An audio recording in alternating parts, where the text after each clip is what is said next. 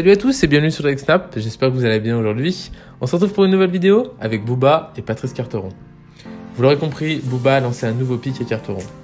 Suite à son interview dans le journal Le Parisien, d'ailleurs si vous ne l'avez pas vu, je vous mets le lien dans la description, ce sera plus facile pour vous de comprendre vraiment le contexte.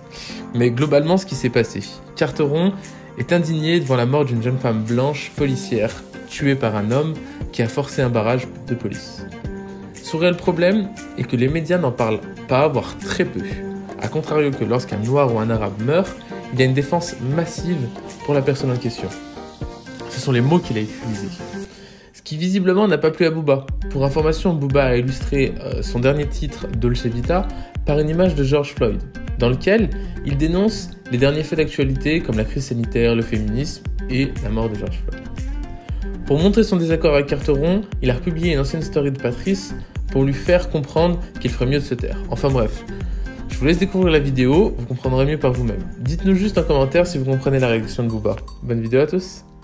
Maintenant, je vais tous vous filmer. Nous sommes au commissariat d'Evry.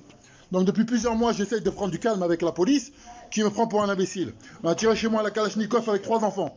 Avec trois enfants. Donc j'essaie de contacter les gens et la plupart de ces gens qui veulent me, me prennent pour un imbécile réponse maintenant. Et je vais pas perdre mon temps avec vous. Ça continue les menaces, etc. Vous attendez quoi? Que je fasse la pute? Soit je, tire, soit je tue quelqu'un et vous viendrez me chercher? Donc maintenant, quitte à venir me chercher, vous venez me chercher maintenant. Donc maintenant, vous allez vous exprimer et me dire ce qui se passe. Mettez votre masque, monsieur, au lieu de... Mets le masque, il a pas de problème, mais maintenant, maintenant vous allez me respecter. Vous allez me respecter. Allez, on peut s'exprimer, allez-y. On est sur Internet en famille. C'est une nouvelle plainte.